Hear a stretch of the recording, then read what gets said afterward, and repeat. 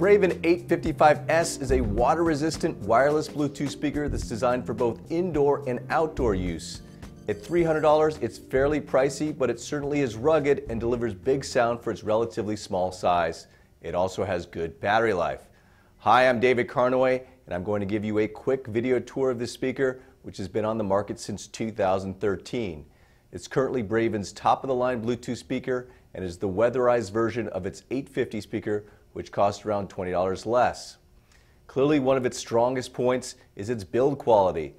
The thing's built like a tank and feels pretty hefty, weighing in at four pounds. It's rubberized on the top, bottom, and sides and has a removable rubber gasket that covers all the ports.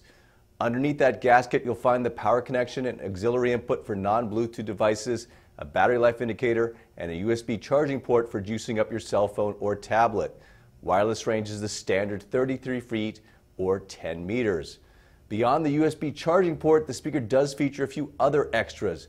There's a built-in speakerphone and aptX for devices that support it. aptX is supposed to make Bluetooth audio sound better, but it's really hard to tell if it actually makes a difference.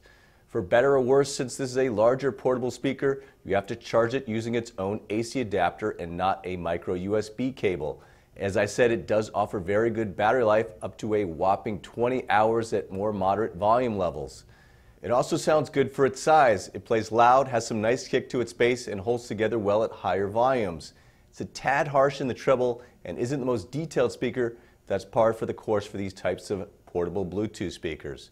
This is considered a stereo speaker, but because the drivers are so close together, you get little to no stereo separation. There is an option to wirelessly join two of these speakers together to form a left-right pair for true stereo sound, but I'm not sure how many people want to spend $600 to do that. In all, I like this Braven and think it's a solid choice if you're looking for a beefier, rugged, portable wireless speaker that plays loud and features excellent battery life.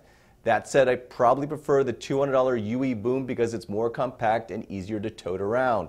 I also like the TDK Life on Record A33, which can be had online for around $150 and is a better overall value. I'm David Carnoy, and that's the Braven 855S. Thanks for watching.